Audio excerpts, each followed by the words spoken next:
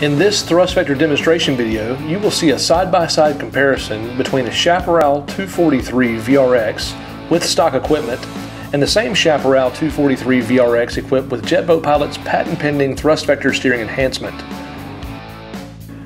Notice that as we turn the steering wheel to port and then back to starboard, the thrust vector equipped boat begins its turn faster and also course corrects more quickly than the boat with stock equipment.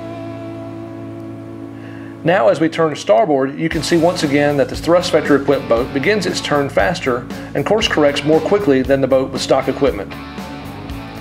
For more information about thrust vectors, please visit us at jetboatpilot.com.